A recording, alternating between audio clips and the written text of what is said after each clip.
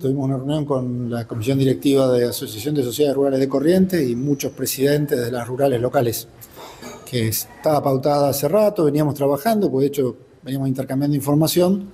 y fue una puesta al día de toda la situación básicamente de la emergencia agropecuaria que está vigente, que va a estar vigente hasta el mes de julio, y cuáles son las medidas que se han venido tomando, las acciones y algunas de las de los, podría llamar reclamos o propuestas, sobre todo que hacen desde el sector privado, el sector ganadero, para tratar de paliar esta situación que ha sido tan grave para nosotros. La sequía ha golpeado a la mayoría de las cadenas, ha golpeado el arroz muy fuertemente, con una caída de producción que no tiene antecedentes en los últimos 20 años, ha golpeado a la citricultura, con una disminución de producción significativa en esta zafra en particular, también al sector yerbatero, en dos zafras, con pérdida de plantaciones nuevas, también hasta el sector hortícola, la horticultura que se hace a campo, lo que se llama cementera baja, eh, cultivos de maíz, de sorgo, lo estamos viviendo, es una situación complicada, que entendemos la preocupación, por eso excelente este tipo de reuniones, hemos escuchado en primer lugar las, los planteos que hizo el presidente de la Asociación de Sociedades Rurales, Pablo Sánchez, y los distintos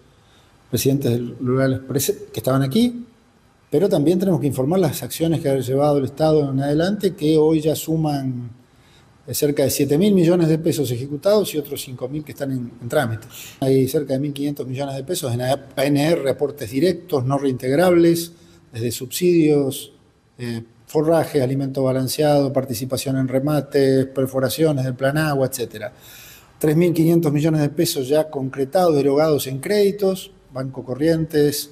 y la provincia a través de, los, las líneas del Fidecor, FODIN, el aporte provincial a, a compensar la no la disponibilidad de fondos del impuesto inmobiliario rural en el FDR, que es de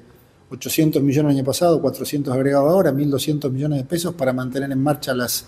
obras de mejoramiento de caminos rurales, de conectividad, de varias de ellas, las, eh, todo lo que es sanidad animal, hay que, se sostuvo el presupuesto de FUCOSA del 2022 y ahora vamos a tratar el 2023. Todo eso se sigue haciendo a partir del esfuerzo que hace el gobierno provincial.